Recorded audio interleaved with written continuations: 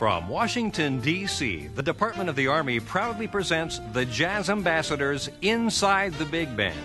This 19 piece big band has appeared in all 50 states, Canada, Mexico, Japan, India, and throughout Europe in concerts and clinics, radio and television programs, and major music festivals. Their festival performances include the Montreux, North Sea, Toronto, and Newport Jazz Festivals. As part of an ongoing series of instructional videos by the United States Army Field Band, Inside the Big Band contains information on styles and techniques for jazz bands of any level.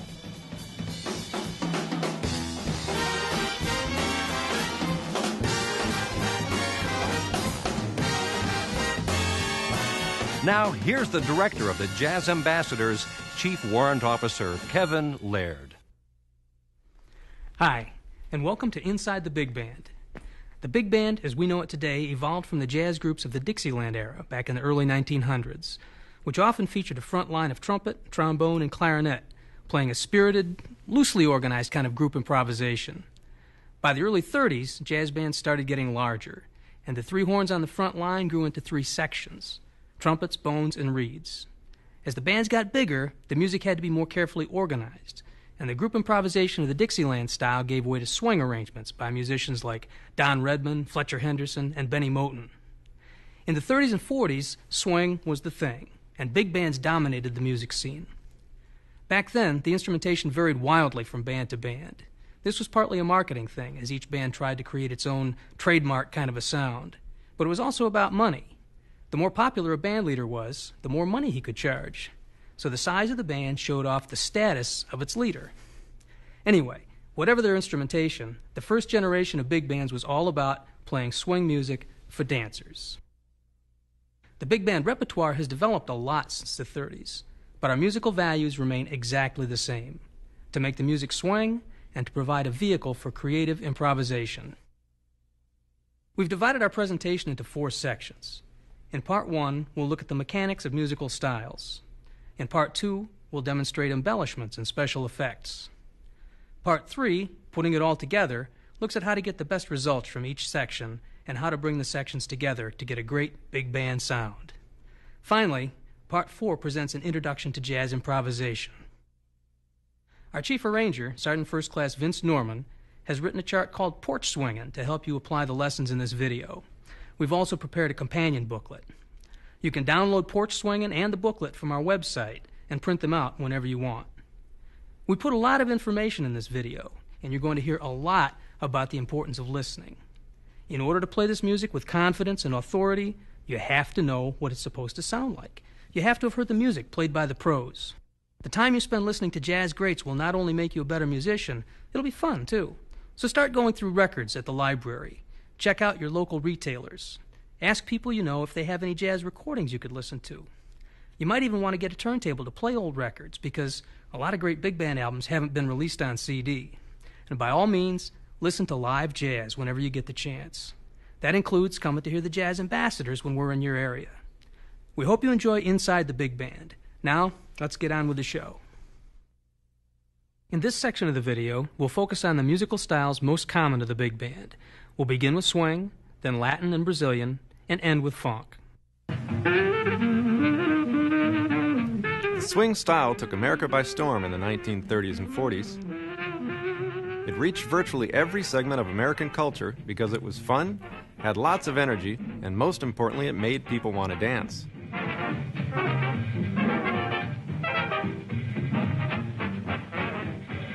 So let's take a look at how we create the swing feel.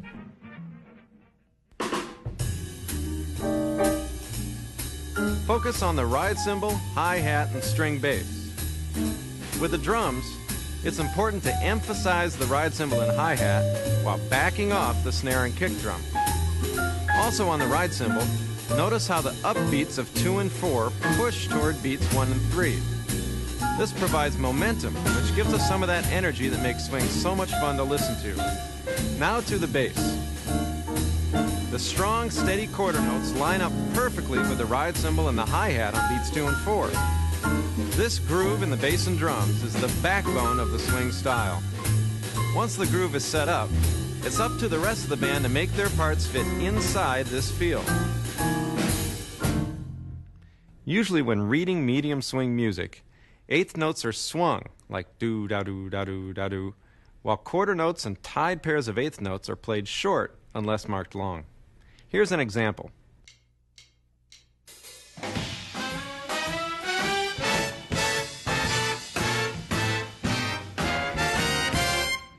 You might have noticed that the quarter notes on beats 2 and 4 were played with more emphasis, and that the ends of groups of eighth notes were short and accented. These are also standard characteristics of swing. There are so many of these kinds of rules and interpretations that the best way to learn what to do is to listen to as many big band recordings from different eras as you can. And then when somebody says to play in the style of Count Basie, Thad Jones, Mel Lewis, or Glenn Miller, you'll have a really good grasp of what they want. Let's move on to the shuffle. A shuffle is another form of swing. For the drums and guitar, it means minor adjustments to the basic swing pattern.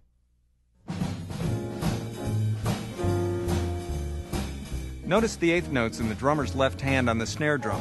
Also notice how beats 2 and 4 are slightly accented while beats 1 and 3 are softer. A variation of this pattern has the hi-hat playing all of the upbeats instead of beats 2 and 4.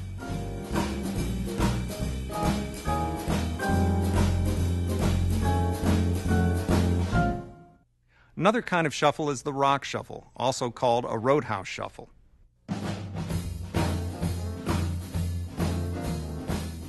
Pattern is the same except that the drummer's right hand plays on a slightly open hi hat, accenting all quarter notes. This type of shuffle has a more raucous sound. Now that you're starting to understand the swing feel, we're going to slow the tempo down and show how this changes things. A swing ballad is challenging because every person in the band has to think the same way or it won't be together. In other words, you need to subdivide the rhythmic pulse through the whole chart.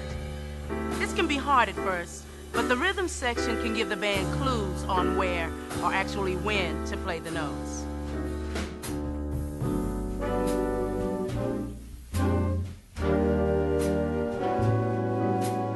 To demonstrate, our drummer will now play the subdivision.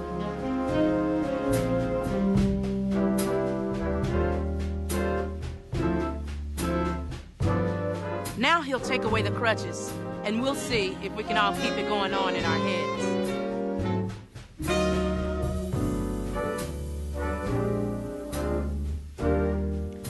When this happens, remember to listen closely to the rhythm section. Even though the drummer has stopped playing the subdivision, the rhythm section is still providing some clues about where the subdivisions are.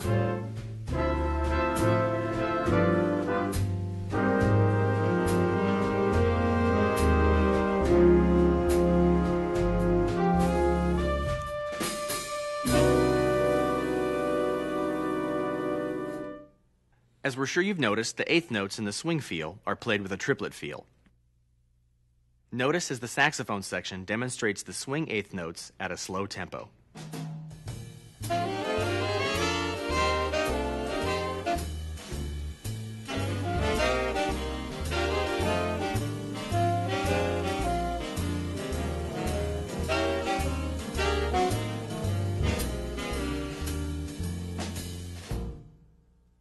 Eighth notes straighten out as the tempo increases.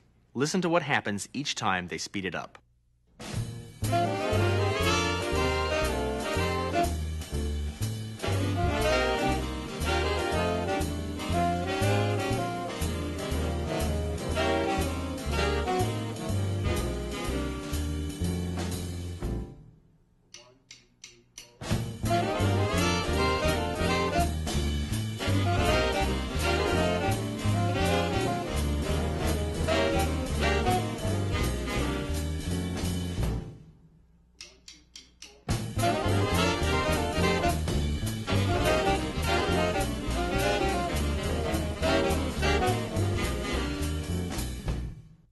The eighth notes will almost completely even out by the time the tempo is half note equals 144. This is when articulation and accents become very important for keeping it swinging. A basic rule to follow is to accent the tops of lines and the first note after a change in the direction of the line. Here's the lead alto part to this sax solo with the accents written in the appropriate places. You may want to mark your parts at first to remind yourself, but eventually the accents will become second nature.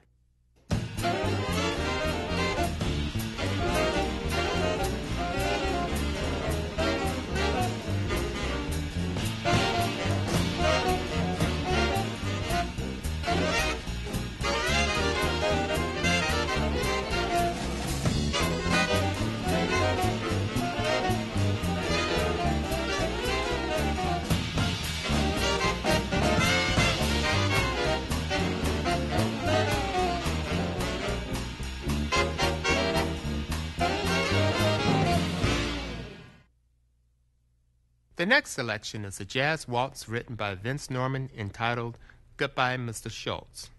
There's really no difference in feel from a regular swing chart except that it's in three instead of four.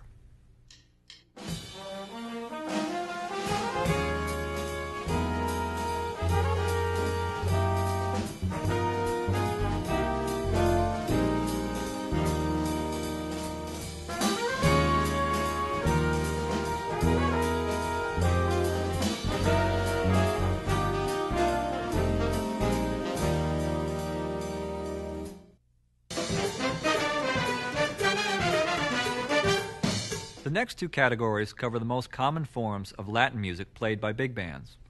The first, Afro Cuban music, includes the cha cha, salsa, and the 6 8 Afro Cuban. The second group of Latin styles is from Brazil, with roots in Africa as well. We'll play examples of the samba and the bossa nova. The differences between these styles are found in the rhythm section, mostly with the bass and drums. For each style, we'll show you the patterns being played, for some of the styles will show possibilities for Latin percussion. Percussionists should keep in mind that their role is a supportive one. Rhythmic patterns need to be assigned for each percussion instrument in order to achieve a good, uncluttered groove. Resist the temptation to just grab something out of the percussion box and start banging on it. Horn players, listen to the way the rhythm section plays the eighth notes in these examples. The eighth notes in your parts should feel the same. Next is a Cuban style called the cha cha. The cha cha is a popular dance style at medium tempo. It has a very distinct feel and rhythmic pattern.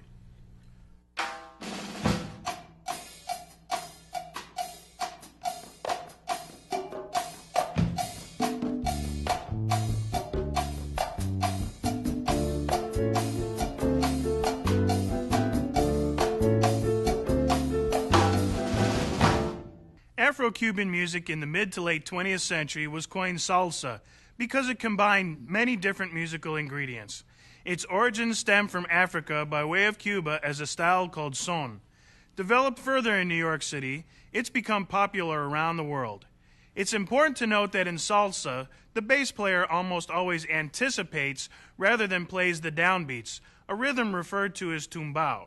Here's the rhythm section demonstrating a basic salsa pattern.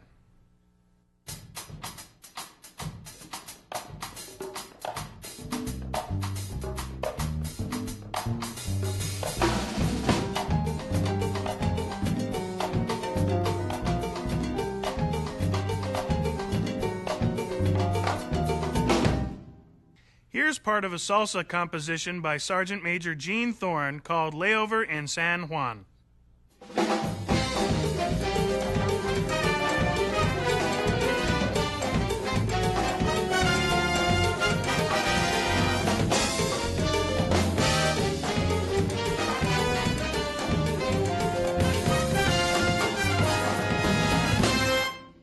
The Afro-Cuban 6-8 originated in West and Central Africa.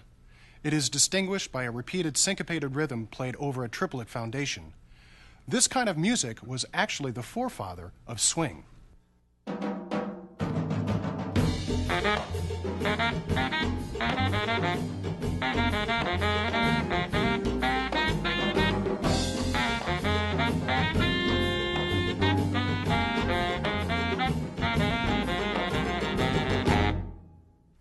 From Brazil, the samba is another popular dance style.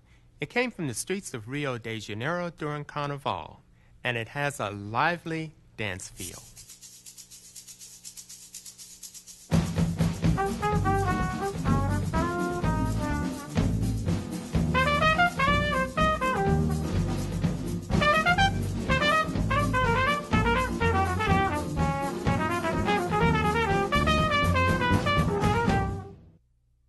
Our second Brazilian style is the bossa nova.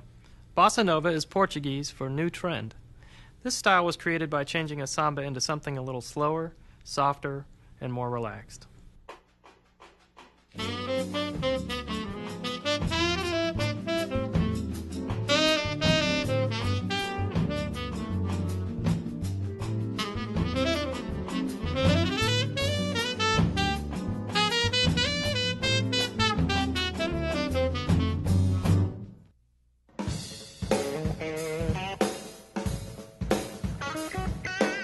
The rhythm and blues style of the 1950s and 60s developed into the funk style of the 70s. It continued to progress to what's now called hip hop. You might not think that there's much connection between what you hear on the radio and jazz swing, but listen and you'll notice that they both have that same swing feel.